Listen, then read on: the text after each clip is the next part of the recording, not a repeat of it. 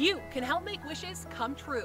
I'm Sarah Jacobsen. Join us June 3rd right here at Esther Simplot Park for Walk for Wishes, benefiting Make-A-Wish Idaho. Visit wish.org to sign up.